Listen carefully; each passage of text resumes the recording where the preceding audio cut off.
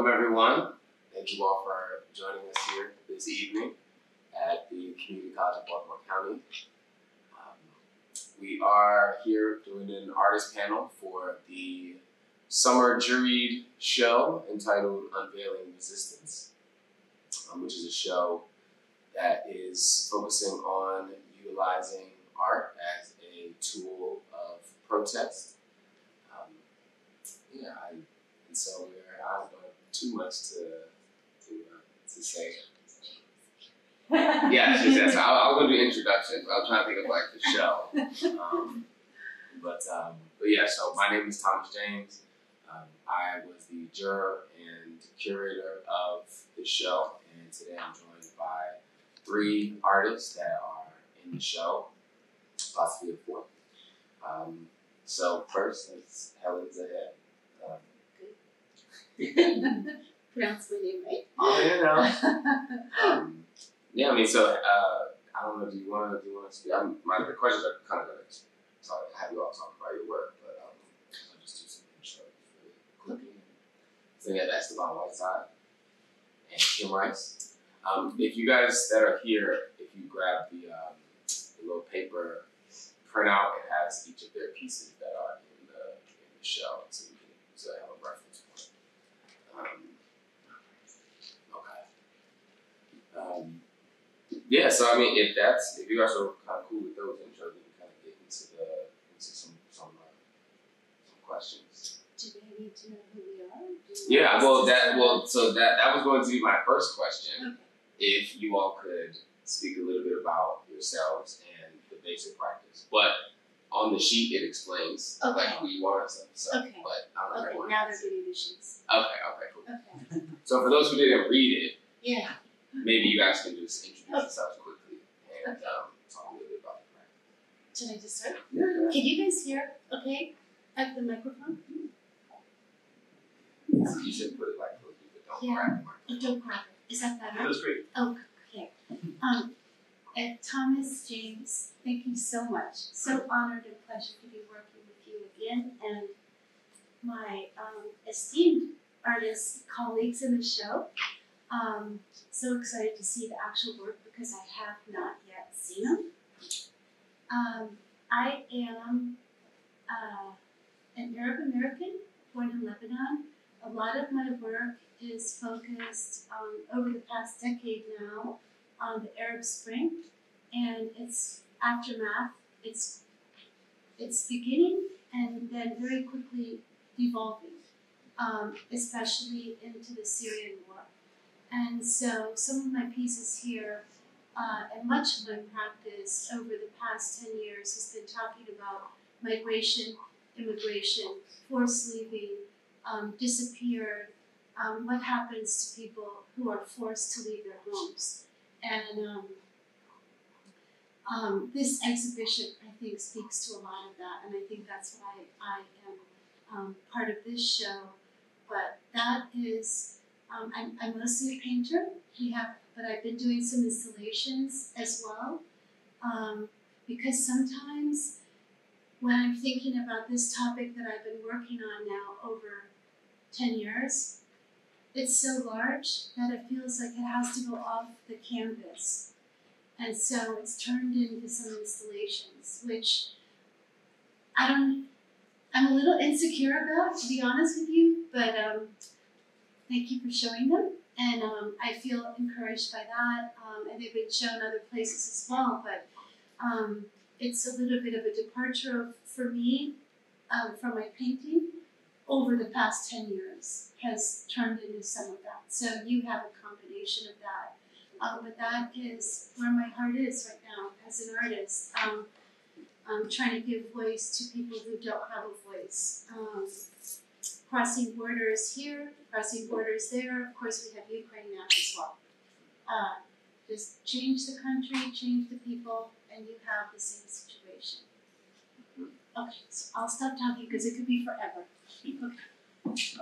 So Esteban Whiteside, um, a lot of my work deals with um, you know social issues. Um, early on in my career, I did a lot of uh, like abstract work, and then around the time that Michael Brown was killed, you know, my work kind of, you know, changed direction, and I started, um, you know, dealing with things that affected people that look like me, um, and you know, I really aim for my work to, you know, kind of be my voice and to, you know, just uh, just to show that I'm not okay with the way things are. So, you know, all my pieces deal with issues that most, you know, black and brown people face, and and, and also just issues that I feel like don't get addressed enough. Um, so I was happy to be part of this show um, because you know it just went right in line with you know all the work that I feel like I've been doing for the past five or six years. So um, yeah. Hi, my name is Kim Rice, and I'm a Baltimore-based artist. Uh, my work deals with the white constructs, white supremacy, institutionalized racism, and I've been working on this for about a decade now, and uh, very happy to be here. Hi, I guess. I'm sorry. I was teaching and then coming into that, so I apologize. Um, my name is Fahimeh Vahdat. I have been working in the field of uh, human rights, women's rights, and children's rights for over 25 years. And uh, my work continuously dealt with the with these issues, uh, specifically with um, violence against women worldwide, but also specifically in the U.S. and comparing it to what is happening to the country where I was born and raised till I was 18 when I left after the revolution of 1979 in Iran. So um, it has been uh, so important to do this research, comparative research uh, within the um, domestic violence, especially, and uh, women's and human rights abuses um, in Iran and in U.S. actually, and uh, and it's uh, to be surprised there, there are a lot of um, parallel actually going on with what's what's happening when I did the research with the um, ethnicity, for example, and race issues. Of course, in, in Iran compared to US, we don't have race issues, but there are other ethnicity, ethnic uh, cleansing, religious um, cleansing, and so forth, and of course, women's rights and children's rights which is parallel, and then prison uh, system in U.S. when you compare U.S. prison system with what's happening in Iran, and of course I do look around the world in South America, for example, where I have visited Argentina I uh, you know, went through all those uh, atrocities took place, the, the, places that the atrocities are taken place. So, so there, there, I look at everywhere in, in terms of being able to do a, compare, a good research materials to bring into my work. So um, we can talk further. Thank yes, thank you. Um, and thank you all. I know, you sometimes about yourself isn't the easiest thing, but I appreciate it. Um, so this show deals a lot with cultural imperialism, something that I think is a through line with all of the work um, from the artists that are, that are here. Um, so I wanted to, if everyone has the sheet, this will work out perfectly. Um, in order to give the audience a little more context about each of your work in the shop, I wonder if you could speak directly about the specific pieces or piece or pieces that you have um, in the show. Are you me? Do you want to start? Let Anyone can start. Darn it, I shouldn't have sat here. That's the thing. Um, and thank you also to audience who's here as well. Um, so the specific pieces uh, that Thomas um, selected for this show, um, I have. I hope you've gotten to see the show. I hope you've gotten to see the show. No, those oh. audience. Um, okay, so uh, I have protest signs in there. Uh, my father is from Damascus, Syria, and um, you know, we had to leave, uh, evacuate in, uh, from the civil war in Lebanon in uh, 1975. So a few years after the revolution in Iran, I remember very well.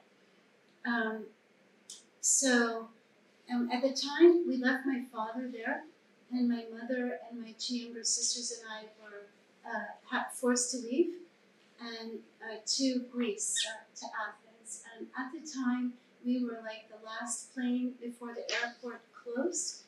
And uh, my father um, said that we would be gone for one week. And that week was 35 years uh, that I finally went home. Mm-hmm. Yeah.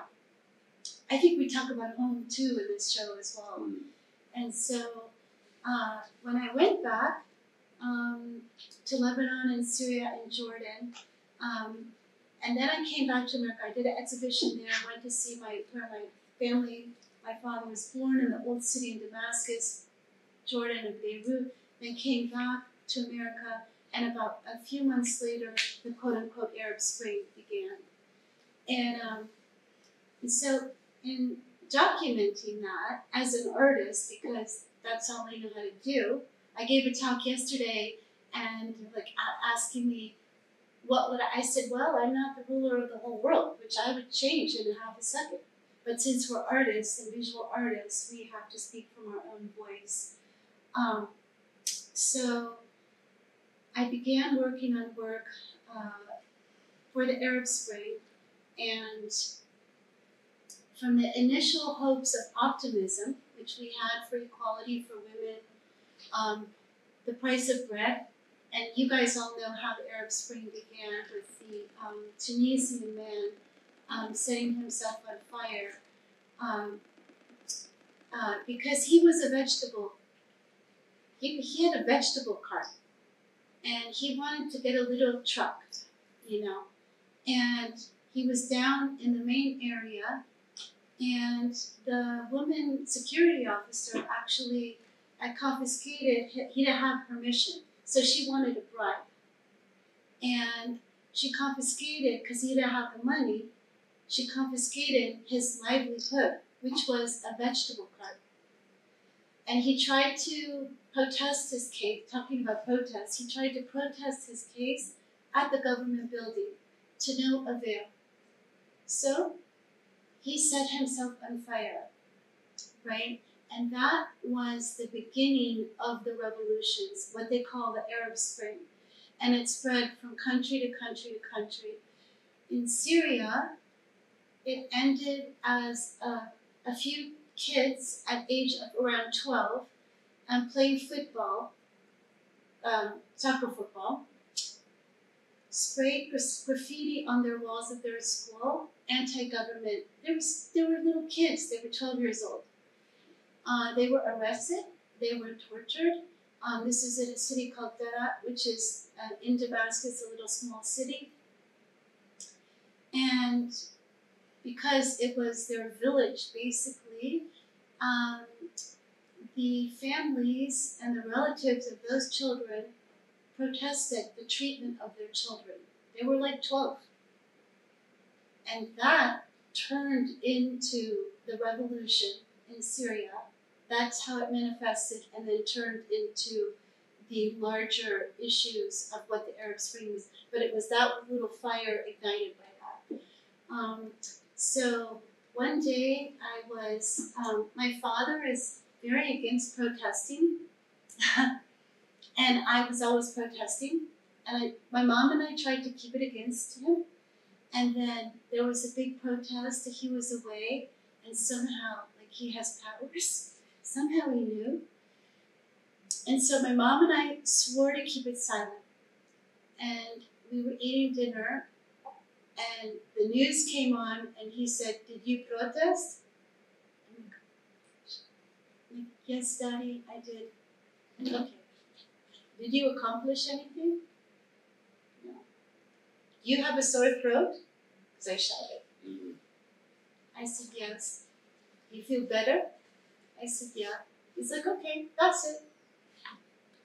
Those protest signs we picked up that are in in the exhibition, as well as part of my migration, um, Syrian migration pieces that uh, inspired by Jacob Lawrence's amazing migration, um, where I was seeing the parallels um, from the war um, in Syria, which is ongoing. It's still today, but people forget. So it's still today. Um, and so I began seeing the parallels between Jacob Lawrence's migration um, from African Americans from the south to the north that he painted in 1940 and 41. Um, so I have now about 46 of those pieces, and you have several in your show.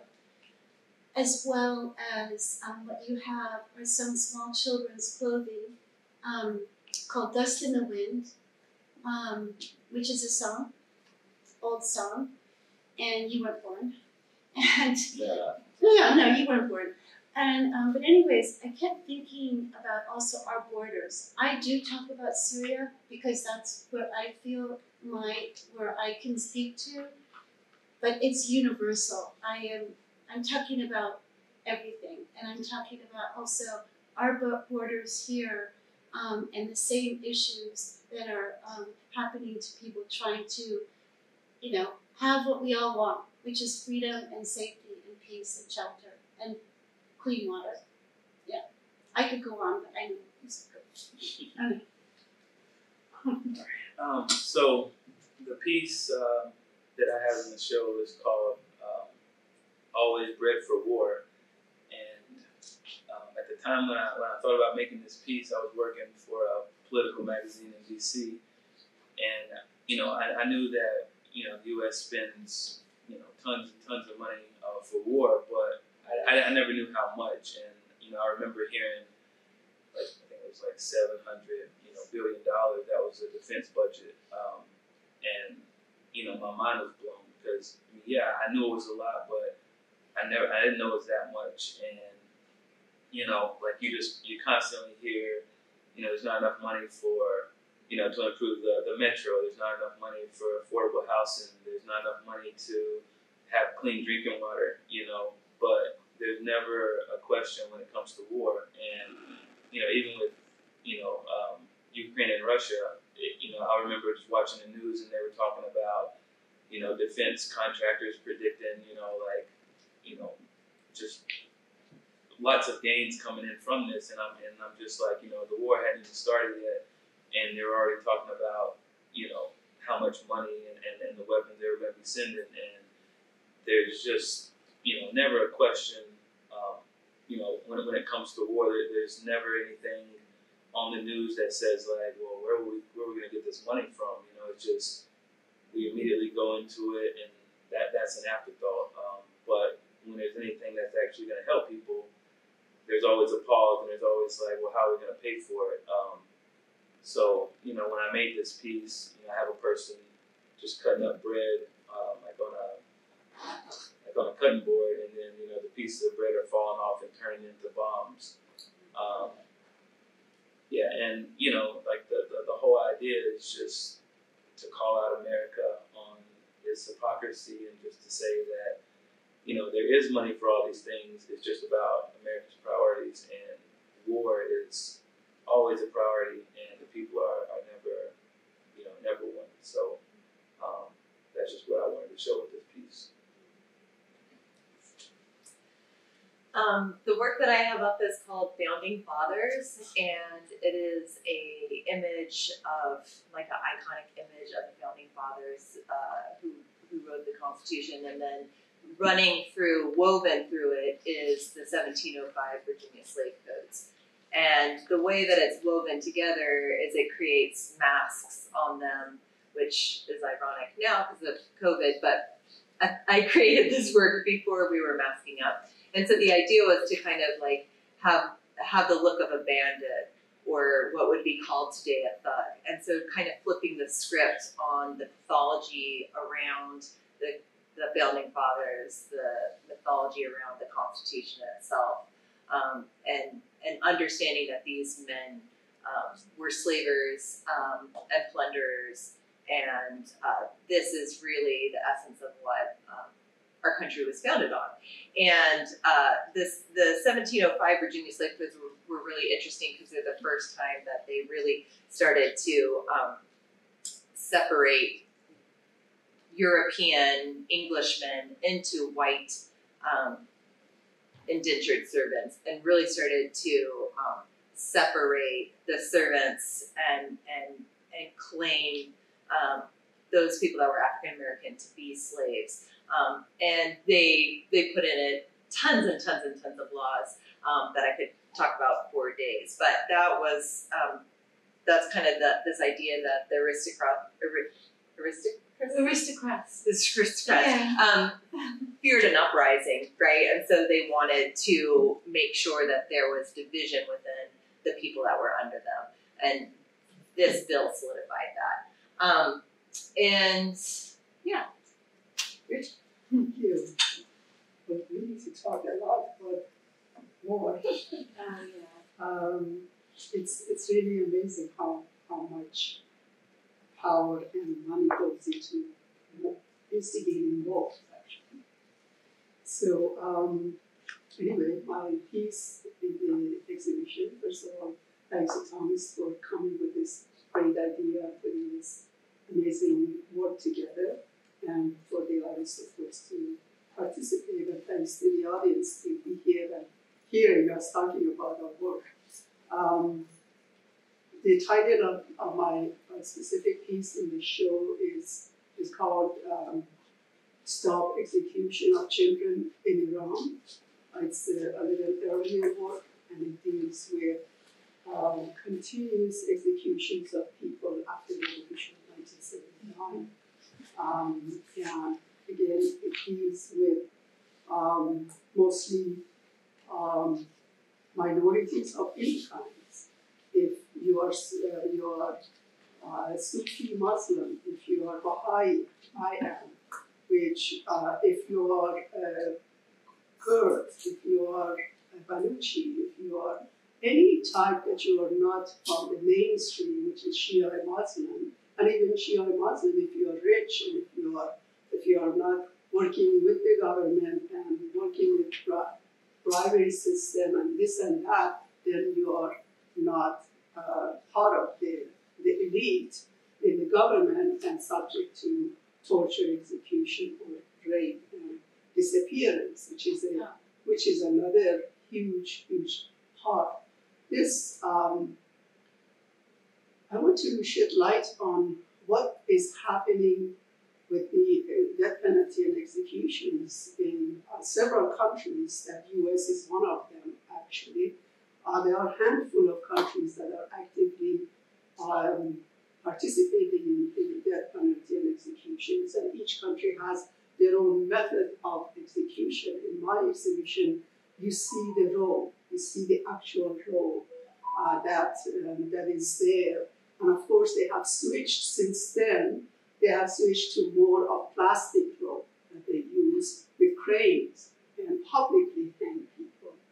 My cousin, 32-year-old nurse, who was a volunteer nurse in Sh- southern Shiraz, um, she was part of the uh, 10 young women who were hung publicly uh, in, in Shiraz, and, and um, their bodies were dumped in, in one uh, you know, pile and, and buried that way.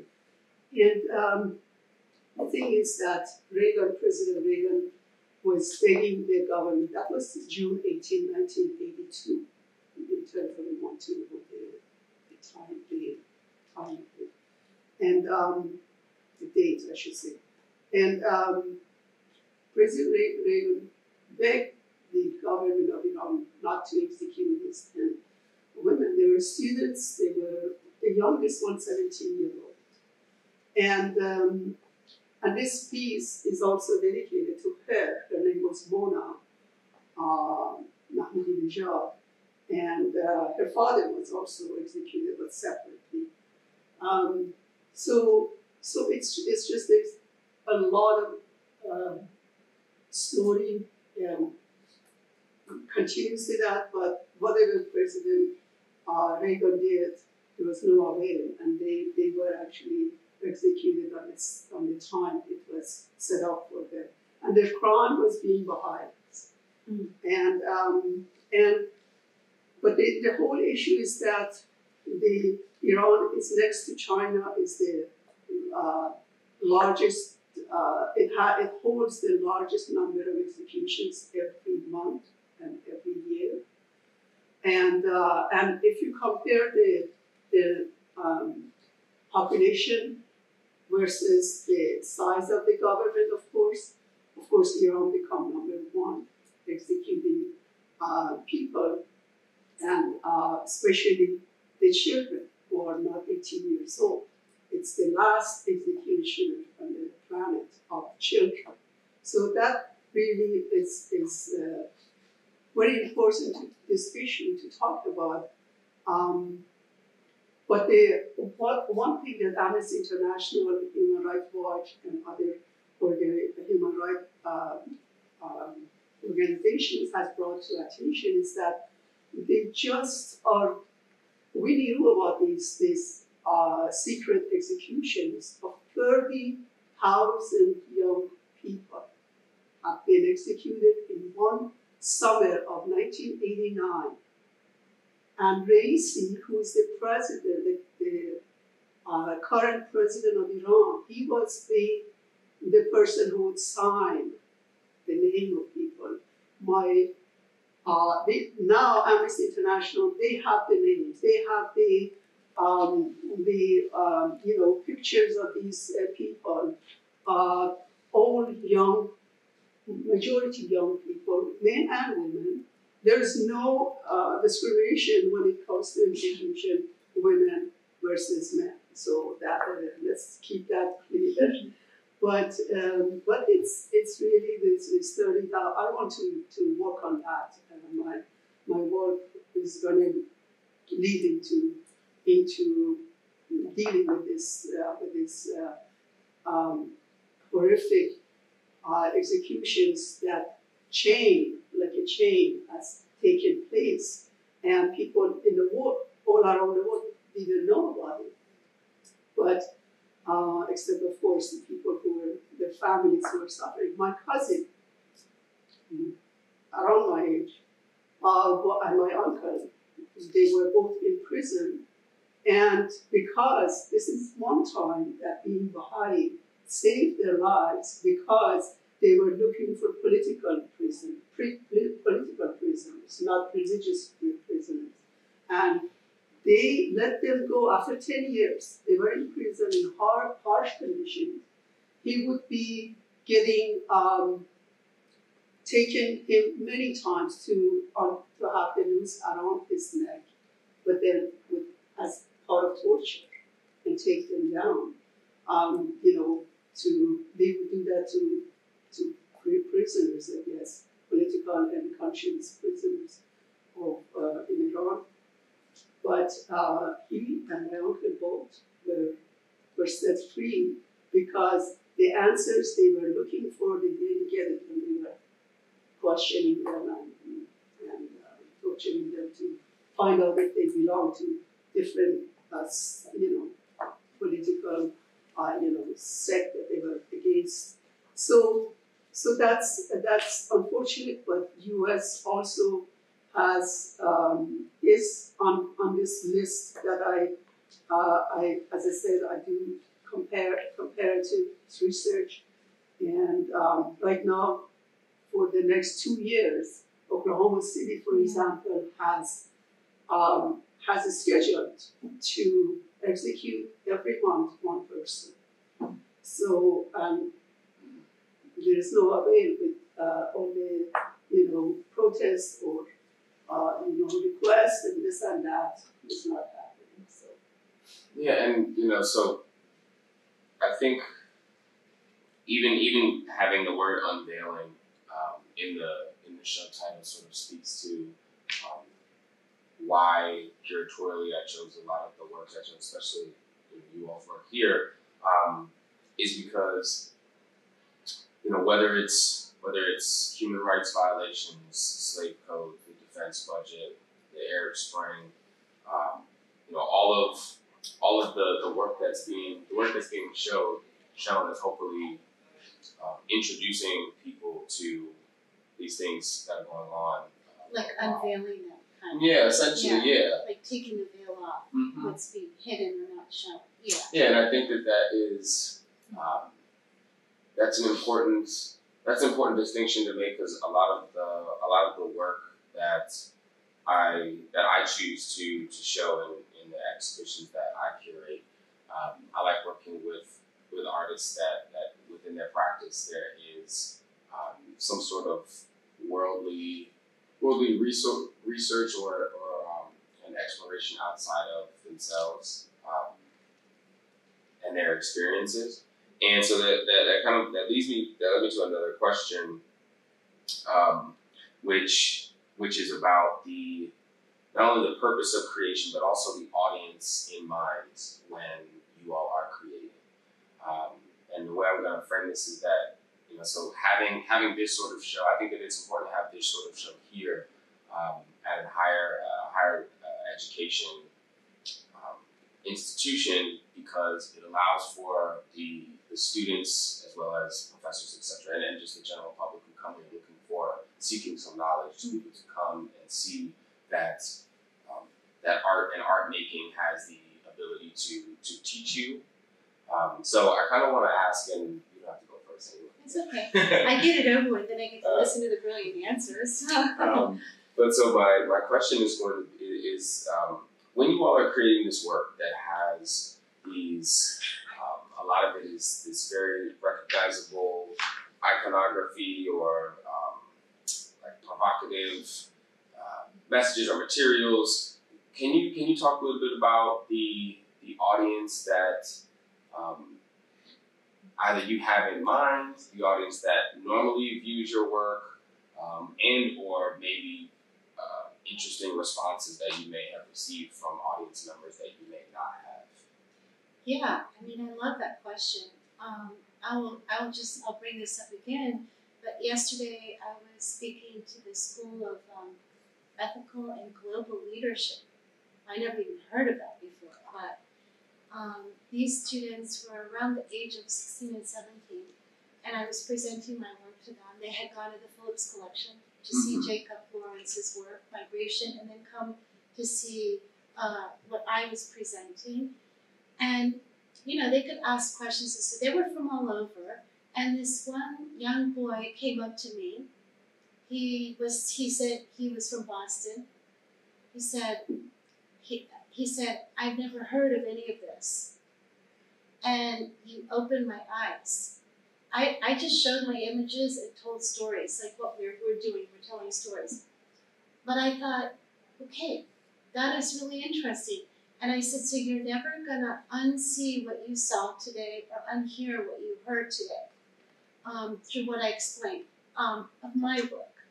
So he said, absolutely. And so, I mean, I think that ultimately what I hope for from the viewer is I would love to have a dialogue, but what I ultimately would hope for is empathy you know, what you're just talking about with your uncle and what I've seen in Syria. And we have a big problem disappeared in Syria.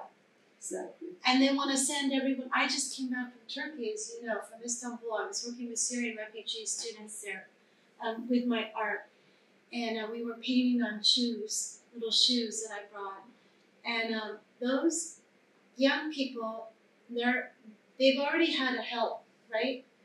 And they got to Turkey, smuggled or otherwise. Um, I was working with one fellow uh, named Hani, and he, he and his brother, their family paid everything for them to be smuggled to Turkey from Syria.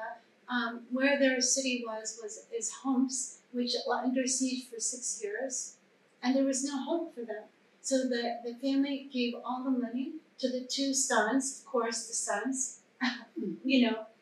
Um, one brother was uh, smuggled across off the wall from the wall to go over like here. And I don't know how it is there, but there's a wall between um, Syria and Turkey.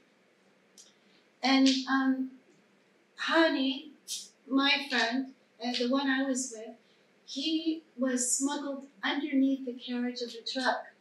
How he, and he, oh, and then I, I could see his expression, how he was, and I was like, oh my gosh, I, I'm so sorry, you know, we're talking. And he said, I, I, can't, I can't hardly acknowledge it. Like, um, so, I mean, and then they come to Turkey, and what I kept hearing over and over and over again, facing racism, they call it racism, against them, um, of, of Syrian, um, so that they're afraid to speak Arabic they try and pretend only they can speak Turkish because they're bullied so much in school and on the street they're assaulted. And so this is so, you know, I I guess what I want, I want to keep this in the open, like you said. I want to I want to be in a place like this where people don't know, and then they can learn. And um, and for me, a lot of that is the voices, what you were also talking about to keep to keep the voice of people voices and to disappear. And um, that extends to men women and children as well. Um, so for me i don't know if, if i answered your question but um, I think so. yeah okay. Okay good. Okay. You. So basically, just saying like, who is in mind when making the word mostly. Yeah. So I mean, like if I'm if I'm making work that deals with like police brutality, you know, I always imagine you know if a police will see the work, you know, and you know I think about the people that are gonna see the work and have a positive reaction, but then I want equally or even more people that are gonna have a negative reaction to see the work because you know, they're the reason I'm doing the work in the first place because they've created, you know, these systems. So, um, you know, where I'm from, right outside of Asheville, North Carolina, a lot of, um, a lot of racism, a lot of like, you know, uh, not a lot, not a lot of people that look like me, and you know, those people know me from growing up, and they don't know me through my art because that's something I started doing when I moved to DC. So I always think about them when I make my work because, you know, it's so different than what they know me for that they pay attention to it. Um, so, you know, I, I feel like I'm kind of trolling some of those people a little bit when I do my work because I know they'll see it and I know they'll get upset. And it, and I'm, you know, I'm in a different city. There's nothing anybody can really do about it. Um, so I think about them, um, and then, you know, I also think about myself and people like me who didn't really have a background in art because I think not understanding uh, certain pieces kind of kept me away from being an artist for a long time. And I guess around eight years ago, I started working at the Phillips Collection. And the first room that they put me in was um, the, the Migration series. And I just remember being like, you know, um, this this is the most powerful work that I've ever seen, and it's also out of everything I've seen, like I understand it better than anything else. And you know, when I decided to become an artist, I was like, I don't think my artistic ability is better than anyone else's, but I feel like the subject matter is going to be heavier and it's gonna it's gonna hit people more powerful than just if I was painting something that looked exactly like something else. So you know, I think about that when when making my work.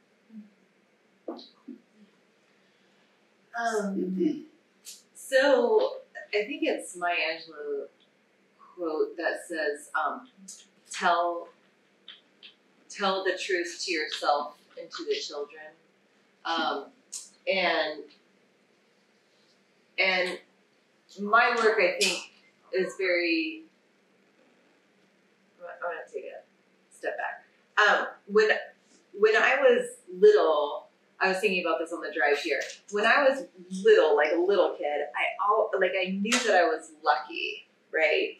And I didn't know why I was lucky.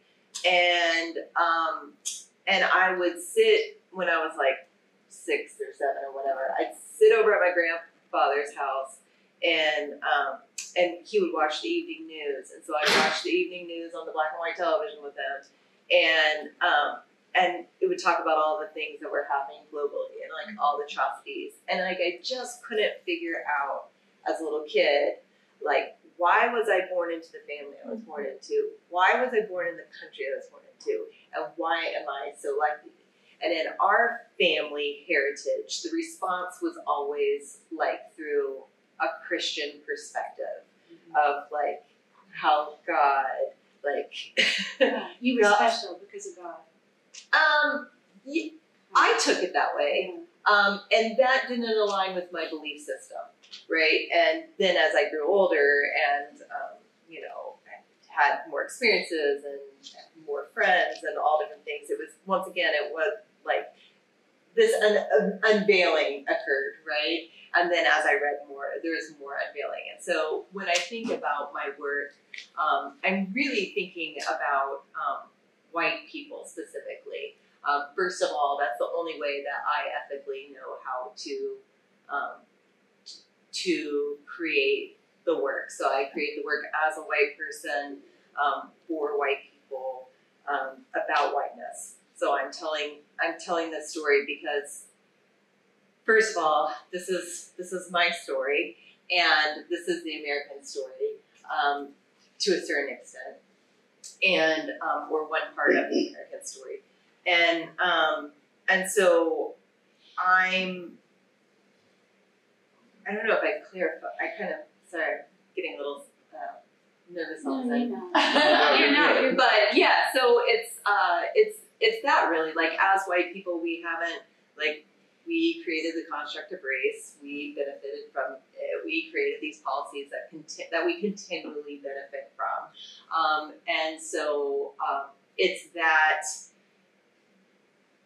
It, and we we as a white culture haven't taken the time to really delve into that, into our own personal histories, into the American policies and the ways that we've benefited from it. So my hope is that my work um, creates an avenue that will allow um, white people to start to um, take a look at themselves and their upbringing and um, the policies and procedures that have gotten them to where they are today.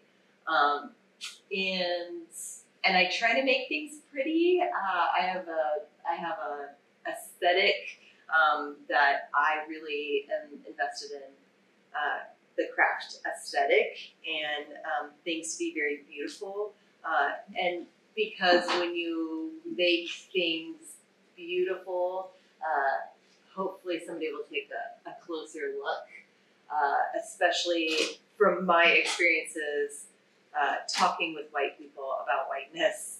Um, it can be, there can be a shutdown really fast. Um, we've made a lot of gains in the past couple years, obviously uh, in terms of people say the word white out loud now. White people say the word out loud, white out loud now. Um, but uh, but still, I think that there's there's a, a, a long way to go. But of course, my work is for everyone, and I've had um, a lot of strong strong reaction re- reactions um, from people that um, you know people from um, different communities.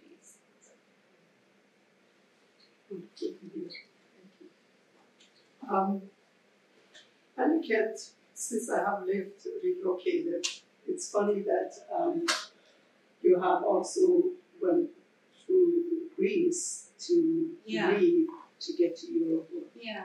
uh, US, and um, it was um, like three days before war, before war between Iraq and Iran started when I left the country, and the only country that was allowing at that time the, the, the Iranian to get there was uh, to their to their country was Greece, and then from there I had to go to Spain and then to England. I was there for two years until I relocated to the US, and of course there are a lot of stories associated with that. But but for me, America has it's like like has twofold. Has the it's the it's the place that has buried so many pain and suffering of of groups of people, whether um, American, whether the native Indians, whether the um, the um, um, African descent, we call we, we now mm, we call blacks, and then and then the Japanese, the Chinese, and the and the others, which we the others are also has grown to be much larger groups. So so that that is all these all these things, and now starts to to kind of open up. This wound, this big wound, has started to open up, with, especially with uh, with um, uh, Floyd and, and all the um, events that uh, came after that. And uh, but then the other side of the uh, America is that it, it allows people to come in from all sorts of background and and um, and they come here and they have the opportunity to work hard and to make something that of themselves that they believe in. Even there are the red tapes, even that there are all these other things that white people have the most advantage of, you know, and given. Uh, uh, in, in art history, when I was a student, I would always I would ask my professor why um, why the art from all over the world is compared to just European-based art. Why, why, why is that? You know, uh, there's like, like this is the, the trophy you need to look into, and then the rest are lesser lesser everything. Or where are um, where are women's art in this uh, works, this textbook of uh, history movie? So for me, coming from looking from an outsider, uh, looking into this big country we call America, but then also as an individual who is part of this culture and country, and I have embraced the country, the, this country when I was ready to do so, not because, not when I needed to. Uh, therefore, I have made specific choices about my decisions to be part of part of um, active, giving, participating citizens in this country. Therefore, um, there is there is this give and take that's there, and you want to participate. You want to make um, changes. You want to to bring awareness to, to the to the areas when when um, when you see things, and as an artist, you have that voice, you have that power. That if you don't use it, then then what, to me, why do you make art? Yes, the craft aspect of the art is there, and you can make beautiful craft uh, pieces that is admirable, beautiful. But then at the same time, you can have a voice, and when you see things that are that are important, but also uh, it's uh, it needs to bring attention to. Why not having that voice, even when your audience is is the tiniest number of people or non-existence at a time. My art, no one would pay attention or look at my work because it was too intense and too much. Still, I hear that a lot of people, and thank you, Thomas, for for uh, looking into my work because a lot of people say, "Oh, these works are too intense. They don't want to look at. They don't want to show it. They don't want to bring it up." So, so I don't make my art for specific, uh, like a to, uh, to, to gain opportunity to show because I know that that still exists in, or sell in that sense. But I do make my work in the with the attention and, uh, giving attention to bringing changes to the larger public. I believe, I, I, I positively believe that our art uh, can make a difference and can have can carry a much larger voice than we may we may originally want to uh, to bring out. So uh, so it's it's very very important to keep working with. Of course, the aesthetic uh, is is absolutely important as, as artists. We all deal with uh, with aesthetic, uh, strong like um, work that you say you get a lot of um, uh, you know, strong reaction toward the work of each of us here, um, it's important.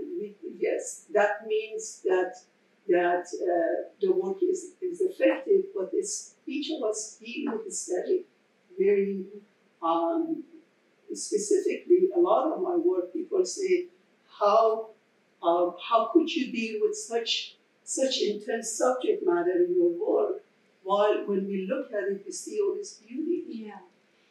There's so much beauty in the work that, especially my, my large uh, drawing series that deals with uh, women and children all around the world, violence against women and children, especially young girls.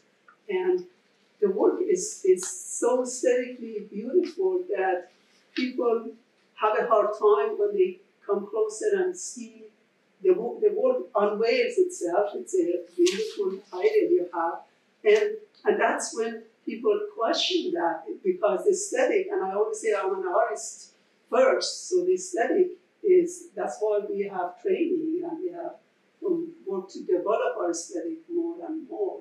So, so they do play a big role, the aesthetic, but then also the subject, the content, the voice you want to, to bring out, to share with the audience. If I may say one more thing, um, the audience always re- react with, uh, with the work from gut feeling. It, it has a lot of raw emotion in my work that, that, that affects people. People who have you know, if the work is up and they can interact with the work. So, and a lot of my work are installation set up, so there is interactive aspect to it. I invite the audience. I like the audience to join and do something with the. I think the aesthetic like creates the opening for the Yeah, conversation. Exactly. Exactly, of course, Um, yes. And I personally found, like when I started this work uh, a decade ago, it was because I was reading all these books and my art was something completely different, and I I didn't know how to handle all this information. Like I didn't know what to do with all these policies that I was reading about, um, and so it it went into the work. But I think that that's like that that tricky thing, not not not like we're tricksters or anything, but like trying to figure out the best way subversive, a little slightly Yeah. subversive. the best way to Yeah. connect with your um, with your audience and like you you're like in your face and that Yeah. totally works um, but but the aesthetic is still there too to, to pull one in the, the hand Yeah, I was. I know that we're we're um. Can I can I ask Oh. another question or do you want? Um, well, I just kind of want to follow up on that, um, which is which, which is specifically about the art making and how you all find your own balance in how far to push the work. Politically, somewhat politically speaking, like how you know how, how much how much material, how much um, iconography, how many how, how much wording, etc how do you all find that balance and you know and still being able to make these works that are um, aesthetically beautiful pleasing, yeah how do, how do you all find that balance Well, I mean, I'm I'm agreeing with you guys. I, I, I can say an anecdote. I love that question. Um, I was on a panel a couple years ago um, with two German photographers. Did, did I ever tell you this story? Um, It's, it's a, maybe maybe, maybe I just don't want to repeat. And um, and one photographer, um, they both uh, were from Berlin and um, German, and they were working in refugee centers, what they call them in uh, Germany, of Syrian uh, refugees. Did I? Yeah, but- yeah, but it's how to do yeah, yeah, it. yeah, yeah, yeah. Uh, yeah, and so yeah, we were just on the panel, and this is the first time I'm meeting their work and meeting them. And one of the photographers, uh, he has very large, both of them, very large portraits of Syrian kids, refugees, just like um, normal kids anywhere. I don't have kids, but just like kids um, playing jokes or being kids.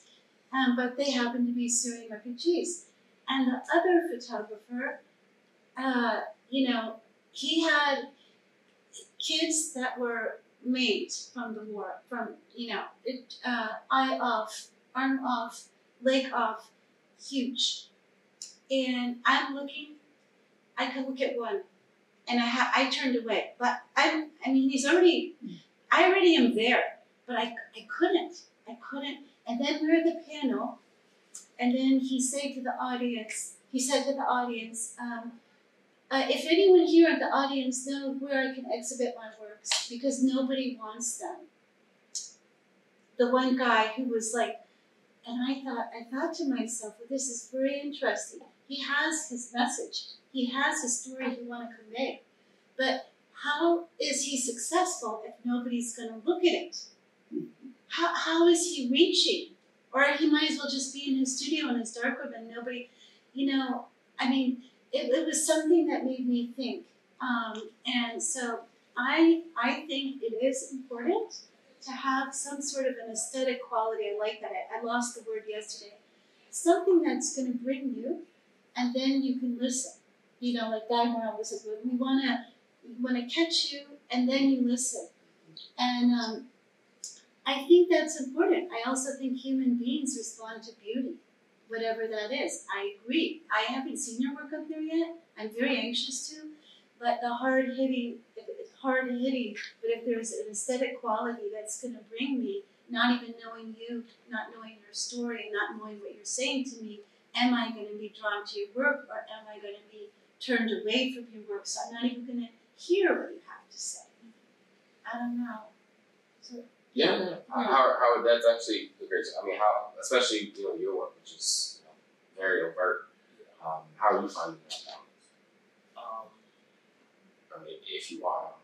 you kind of re- like repeat the question. Yeah, yeah. So, so the, the so my question is, is how do you, in your art making practice, how do you find the balance um, between creating something that is aesthetically pleasing while also utilizing these um, these tools of overt political messaging? I. I think working, you know, working for a political magazine for a long time, like, kind of, you know, helped out with that, just because, you know, I was constantly making illustrations to try to get, you know, featured on the website, um, you know, paired up with an article or whatever. I mean, it happened a few times, but it, you know, it was like the, the colors and everything were were fine, but it was way too in your face for, you know, this broad audience. Um, so I mean, I don't know. I think like the colors is, is kind of what I use to kind of draw people in. Um, but besides that, I don't really, you know, I don't really care. Like, you know, I feel like through my whole life, like I've just kind of been, you know, this like this, my my opinions have been kind of like too extreme for the, the the environment of where I was in, and now finally being an artist, you know, I feel like I can finally just like do what I want to do, and so when I try to pull back, you know, like um, you know some of the, the, the work from being you know so in people's faces, you know, I feel like I don't I don't make good art. So and I kind of feel like this is like the only lane, you know, for me. And if you know I'm not making work that's you know in, in your face like that, then you know I, I kind of just feel like I'm I don't my work doesn't stand out at all. Mhm. Um, so you know choosing the colors is kind of what I use to, to kind of make the work aesthetically pleasing to myself. But I don't really I don't think about a larger audience that much, you know, when I'm when I'm you know working on the composition of the work. So. I think what you bring up is like the honesty, like being honest with yourself and with the work. And um, I guess that's the way I would um, talk about my relationship to my practice. Um, just constantly trying, just trying to be really honest with myself and being like really honest about the work.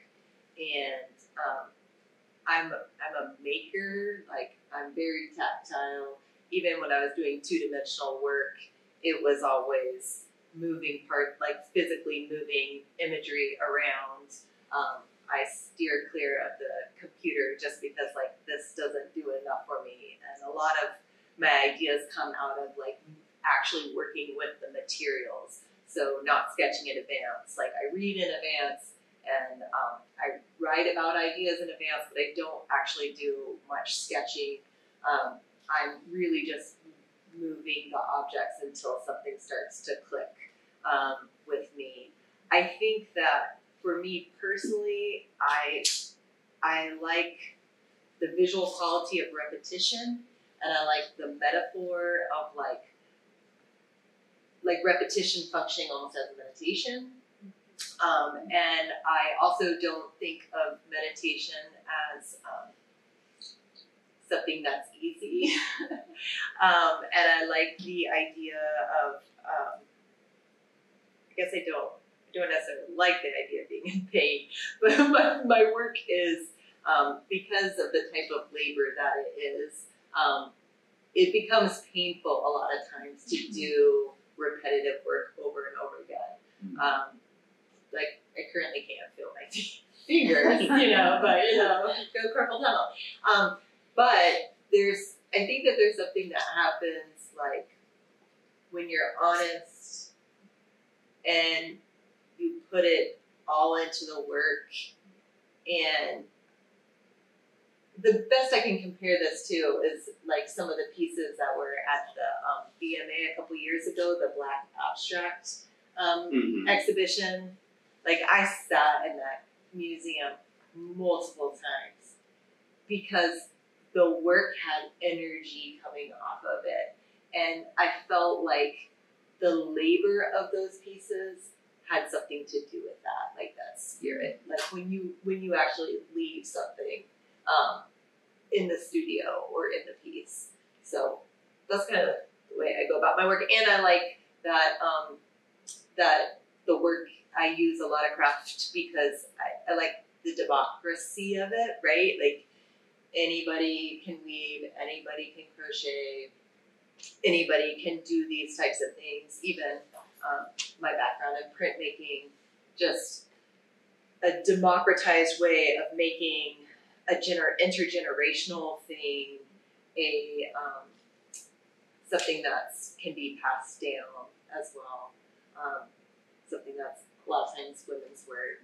So all these things that I, I like about um, the types of ways that I make work. Thank you. Um, for me, again, we talked about aesthetic, how important aesthetic is the with selection of materials and the medium. I work interchangeably with several different mediums as a printmaker, as a painter, as a, uh person who works with a lot of fabric and, um, and uh, textile. Um, so drawing, of course, is the foundation for everything I do. Uh, all comes to play when I'm in the studio and working. I don't sit and say, okay, I'm going to just work on this uh, in, in um, paper and, uh, and print.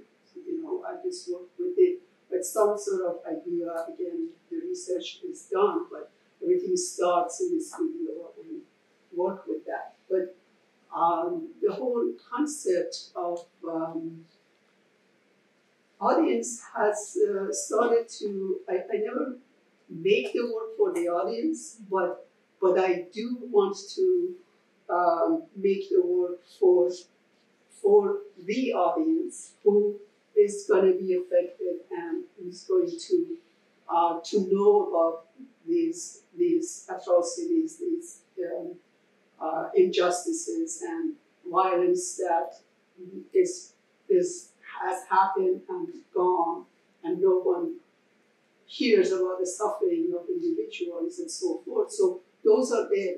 Those again, raw emotions are there in, in my studio. It's difficult. It's not easy. It's uh, sometimes I just I just have to leave, and sometimes I break down, and sometimes you know I'm more charged to finish uh, the thing that that I need to to work on. So it's so it comes to a to a point that it's done and it's ready to be to put it out for audience, you know, and um, and it's it's that balance we talked about that um, keeps everything alive.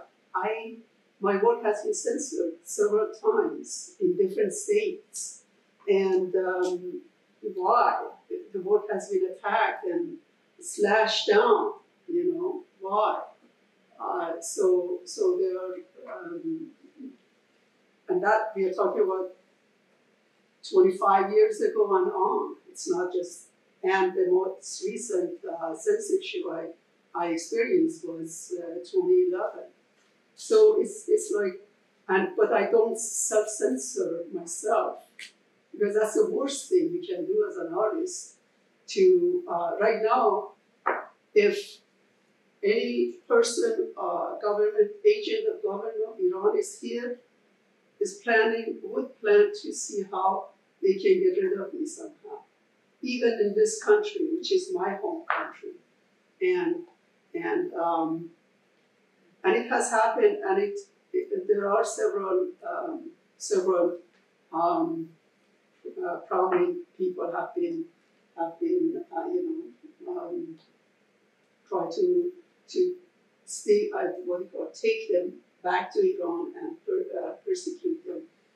Um, and of course, you heard about the um, Pompeo and also John Bolton that the Salman Rushdie who was just um, you know um, slapped, you know um, got um, attacked so forth. So so there is that risk for me for sure. My work is is I haven't been back to Iran for 43 years since I left. Um, so I haven't seen my sisters. My mother passed away without seeing her, and um, there's a lot of pain and suffering in this person, in this heart. But it's so important for me to stand out and resist. To keep going. Mm, yes, and, and to to make the work that that um, that communicate with people. Art is about communication, and that's what what um, what energizes me, and I hope um, continue to do so, and I hope curators uh, become become more supportive of this type of art that could reach out larger audiences uh, because the aesthetic and beauty is there, the, the, the, the, the you know relevancy of the work is there, but um, the museum uh, directors and uh, curators uh, need to open up and not show specific type of work. You know, that's why black art matters. That's why um, art from different parts of the the world um, matters to be seen and to be shown and to be discussing. And honestly, I never have been in uh, associated with any galleries, and I never seek, seeked out to be part of. it. I never have, have that wasn't my priority. My priority is to make art that speaks to audience and send them out. You know, uh, and that's uh, that I think. Um, has a has a stronger message when there is no specific, you know, uh, well, there's no what you call a beneficial benefit, monetary benefit attached to it. I work hard to to maintain my my uh, you know daily living so that I can, and I you know give up a lot so I can do that because that's that's almost like my my mission to to continue on that, and that's that's why I applaud you, uh, Thomas, for for giving uh, two exhibitions concurrently going on with such Yeah. strong strong uh, top, you know, and you have brought you brought really amazing audience. The work is really strong, um, but from such diverse background, which is really what we need. That's why I see America in that type of situation that give opportunity could come, you know, if you keep working and staying positive. Do you have any questions from or anyone in here have questions or anyone from online? Hi, thank you all so much for sharing your thoughts. This is a really engaging conversation. Um, my question is a little bit two pronged, just for everyone on the panel. Um, the main idea of it is how do you avoid kind of, um, I guess, how do you navigate um, the potential for your works to kind of create um, an echo chamber uh, around yourself. Um, so kind of going off of that, like how you approach the idea of nuance um, in the topics that you're talking about? I know the work that you're making is obviously very, very political, and there's a lot of dimensionality to how you can approach it.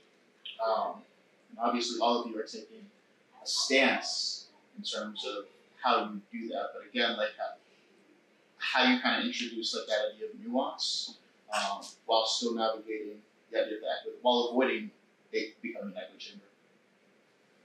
You know what? That's a great question. I, I could just say a little bit. We are talking about the migration series and Jacob Lawrence, which I know you're familiar with. No, no. He oh, will be. He You will be. Okay, You just look it up. He's yeah. He's like the hero. I have a husband, but I would have married him if he didn't have a wife. But like, I- you know, and my husband knows that. He's like, oh, go. But anyways, but you know what? He did. He he taught. Okay, what he did was create, and thirty of them are at the Phillips Collection Museum in D.C. You've got to go see it. Um, and he created sixty panels, narrative panels, uh, twelve by eighteen panels, which you're very familiar with, that um, talked about the migration of African Americans from the rural South to the urban North. And he painted those uh, 60 panels in 1940, 1941. And in those panels, he talked about segregation, of course, Jim Crow laws, lynching. He talked about the most hideous kind of war. I talk about it with the Syrian migration, like paralleling war, like bomb, bomb kind of war you know, and chemical weapons, which is outlawed, but they still used it, uh, killing 1,400 people, mostly women and children. But you know what? He did it, we're talking about aesthetics. He did it preserving dignity and beauty and um, resilience of the people who he was talking about. Um, so he was talking about these hard hitting um, issues but he talked about it, he, visually talked about it, and narratively wrote about it in this very succinct, very direct, sort of beautiful way, you know. And um, so I think he was very successful in that. Um, in terms of what I also, and I've been hearing with you guys, I say, and you are letting us, I say, don't forget us. Don't forget, don't forget what's happening in Iraq. Don't forget the history. Don't forget what's happening right now. Don't forget what's going on. I talk about Syria. Don't forget Afghanistan, Iraq, Ukraine, Somalia. Uh, just switch it out. And I think it's uh, do not, don't forget us, you know. And I echo, thank you, because you are not forgetting us and our voices and what we may not bring monetary, but it's it's we're, you're letting us speak. Um, and so, anyways, that's what I, I don't even I don't think I answered your question. Well, what one thing that I wanted to, to kind of add, and, and I appreciate the, the, the kind words. Um, I think for when when it comes to creating an, an echo chamber, um, you know, people that are interested in or you know, you know creating work that you know will people will agree with, uh, you know, like your audience and things like that. Um, from a curatorial standpoint, part of the way that that I do that is bringing in a diverse audience or um, a diverse group of artists, um, as well as showing in, in many different places. So, for example, we have this show here, um, CCBC, which is in Essex, Baltimore County. That's a certain group of people. Um, I have a show right now, closing soon in um, in Arlington, Virginia. That's a certain group of people. I have a show. Well, we just closed. Um, I had a show at the 1111 Gallery in DC. That's a specific group of people. And so the way that the way that I see it is that each each show has the ability to reach a different group of people. And so the way the questions that I ask myself is, what do I want any specific group of people to see? And I'll give you a quick example. There was um, oh, which I mean, you came to the show in Arlington. Um, there was there was a, a video piece in the show in um, in Arlington that spoke that the, the, the two artists it was a video of a performance piece that these two artists um, that are uh, Vietnamese that they Vietnamese American. They made this video speaking about the traumas that um, were left behind in Vietnam and the um, and the and the children of folks that were affected by the Vietnam War and essentially who has to carry that trauma here in the states in, in Vietnam and, and, and beyond. And in that video they were they did a performance piece at um, the, the Vietnam War veteran uh, memorial in DC and my father who came to the show. He said that when he, he sat down there and he watched the video and there was a, a man who was sitting who was sitting next to him. And as the video was going on he said um, he said to him you know some of my friends are on that wall war vet and he left um, and so I say that to say that that sort of reaction that's um, that's perfectly fine um, but that I'm sh- hopefully that the the man who was viewing that left with some sort with, with something to, to think about. Mm. But that that sort of that that particular person, he might not come to a show like the this show that we're doing here at CCBC or another show that that's at another gallery in DC. So um, bringing it back to, to what you were saying, you know, it's, it's not always it's not always up to up to us as um, as artists, as curators, as um, anyone in the arts field where exactly our work goes because you know you have to be most of the time you have to be asked to curate a show or be in a show or or, or do a program or a residency etc etc so that means that there have there is all there's there's some built-in interest already.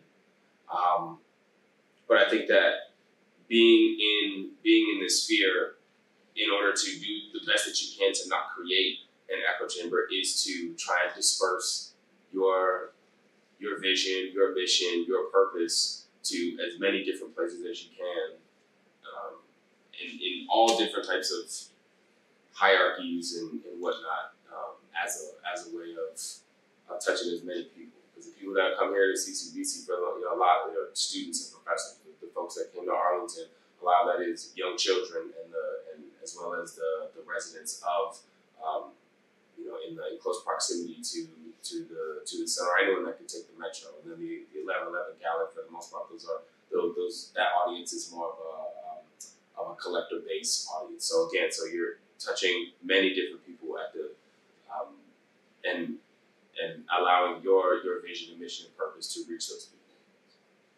That's my answer. For me, it's like I do a self check. And so when I started this work, I started it at Oklahoma and when Barack Obama was president. And so the idea to be talking about what it means to be white in that location at that time is very different than in Baltimore 2022. And so every time I go to a new series, it's usually because I'm feeling like people aren't talking about this. So now it's time to move. Like when I started doing my redlining work, it was because people hadn't heard about redlining. Um, there's a lot of people that still have not heard about redlining and the way that people who look like me benefit from generational wealth. Um, but but many people have. So then it then I then it switches up again and again. And so now that we're in 2022 and you know there's all these books out now on whiteness and people are saying you know white privilege and white fragility and all these things, then it's time to check in and be like, all right, is what I'm doing right now is this just talking about what other people are talking about now? Am I in an echo chamber? Am I just reiterating what these other people are talking about? Or, you know, and and if so, then it's time to move and and then what what is that next conversation going to look like? So that's kind of how I handle that. But yeah, I mean it's a constant, you know. how how much are we moving moving out or just with it? I usually allow the work just keep um, working and keep um, being part of that voice, that original voice that I started.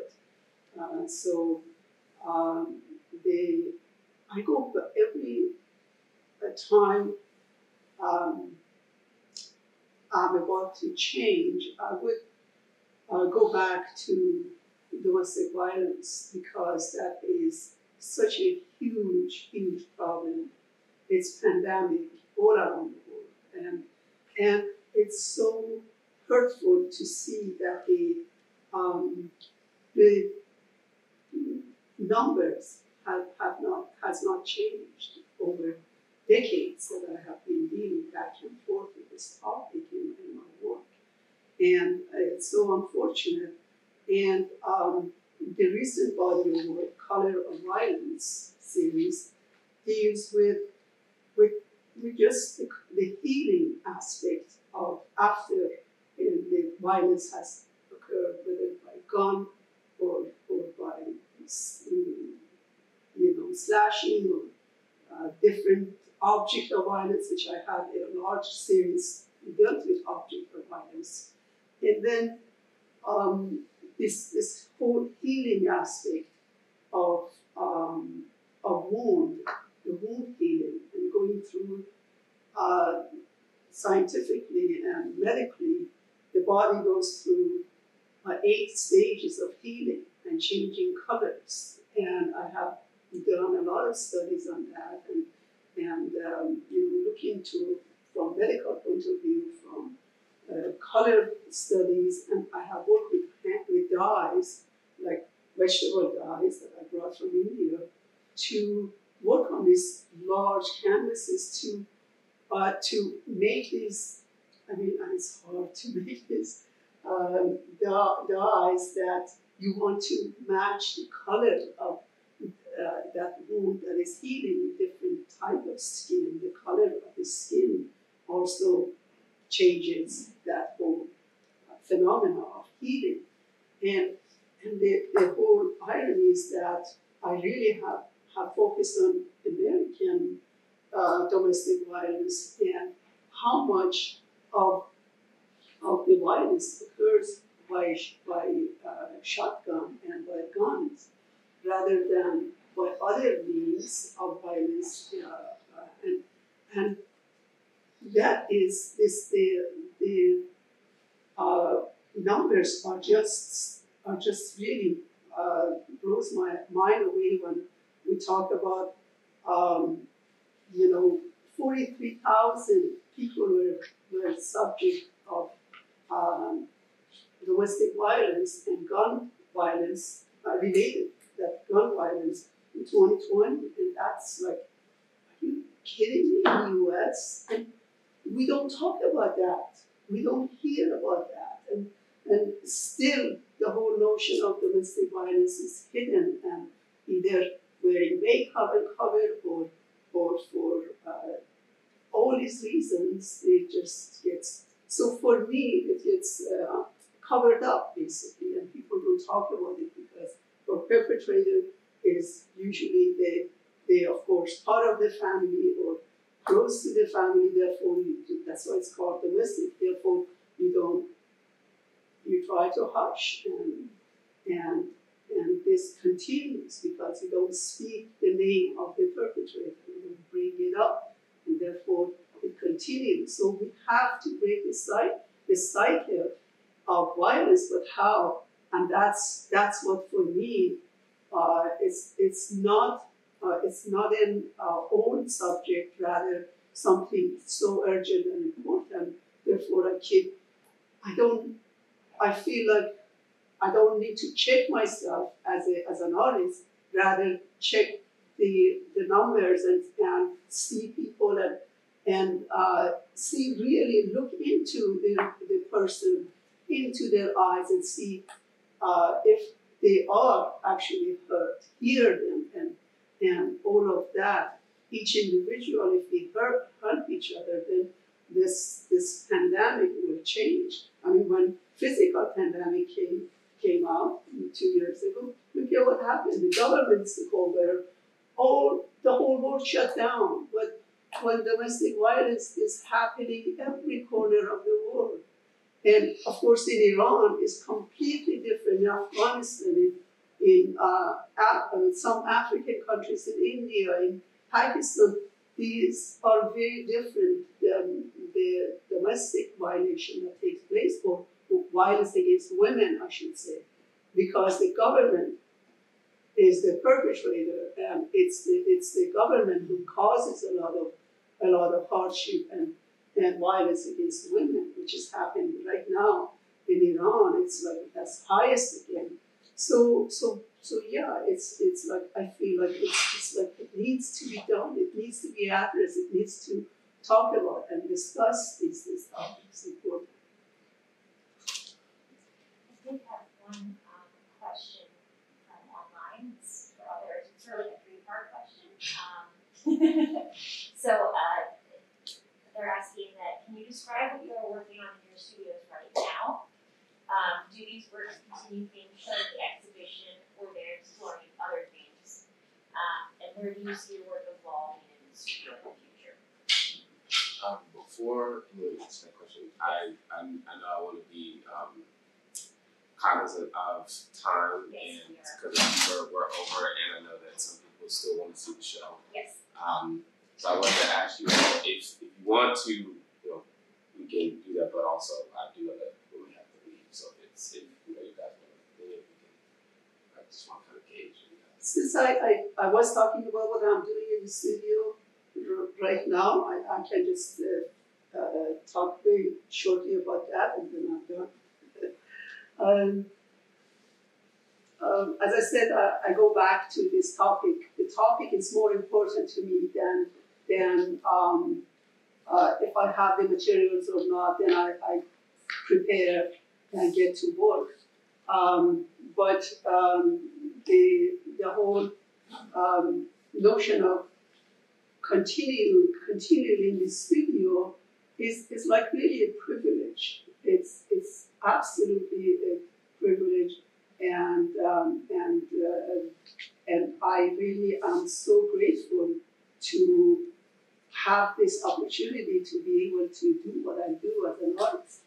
Um, therefore, uh, right now um, I'm working on, on, on this, the continuation of co- uh, the Color of Violence series, but um, I'm re- I am thinking, I have been thinking for, for uh, several years before this became public, like internationally public, about the 30,000 people who have been executed in a in, a, uh, in Iran in the in worst condition. I would like to bring more light on that uh, on that on those uh, horrific events in Iran. So, so I feel like uh, I will get there when when the time is, is there.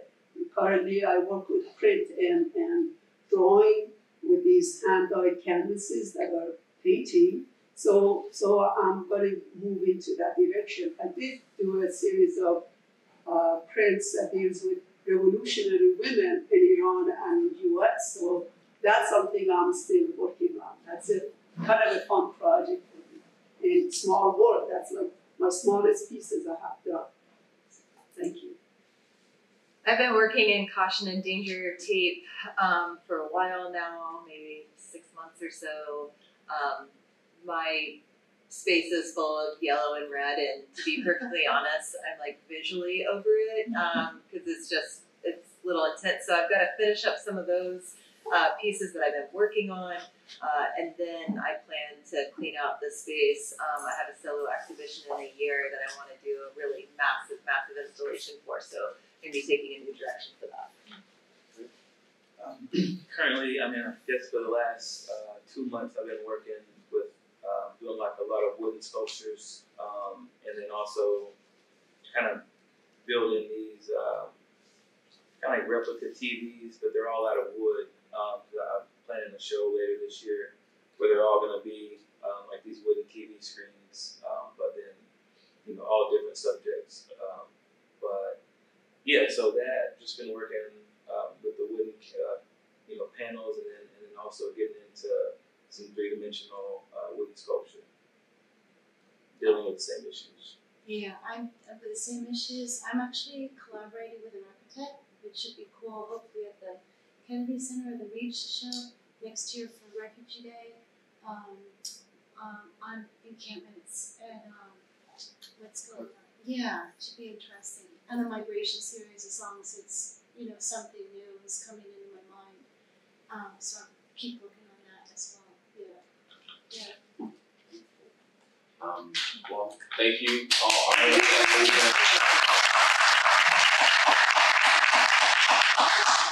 Yeah.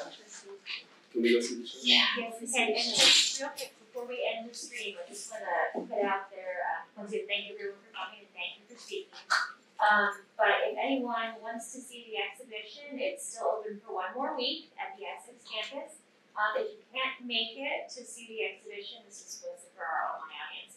We have, um, if you go to the galleries at ccbc.com and you go to exhibitions, you go to Unveiling Resistance, and you can read about the show and also view a 3D Matterport tour. So you can like sort of virtually walk through the space. Um, so that's that's my plug. Awesome. Thank you. Thank you.